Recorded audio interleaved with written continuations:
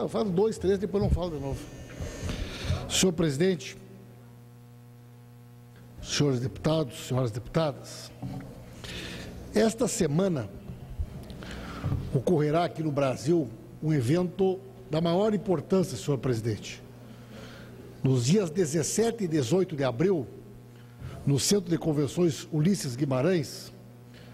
nós teremos aqui o um encontro chamado Governos Abertos,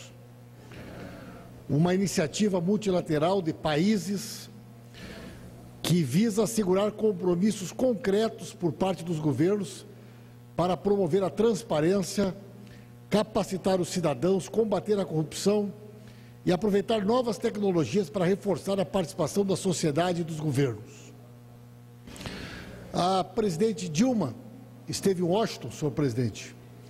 e juntamente com o presidente Barack Obama, lançaram este projeto, Governo Aberto, no dia 20 de setembro de 2011. E são países cofundadores, junto com o Brasil e os Estados Unidos, a Indonésia, o México, a Noruega, Filipinas,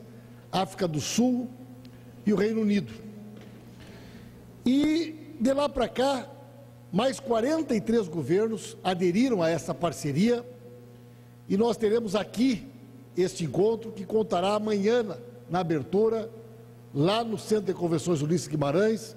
com a presença da presidente Dilma e da senhora Hillary Clinton,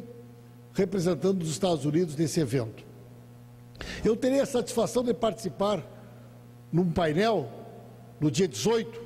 sobre governo aberto e legislativo, juntamente com o senhor Denis Russo,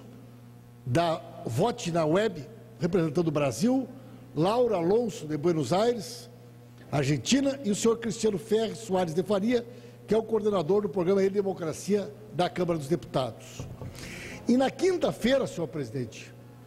nós estaremos trazendo esse debate para o parlamento, numa uma promoção da comissão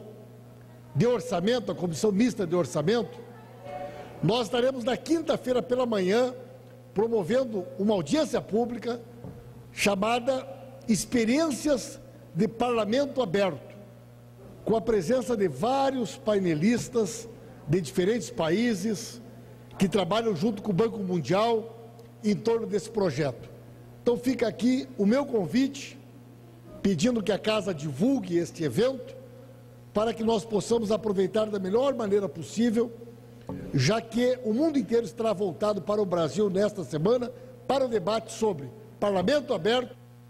Muito obrigado, senhor presidente, e solicito então a divulgação destas informações na Voz do Brasil e na imprensa interna da nossa casa.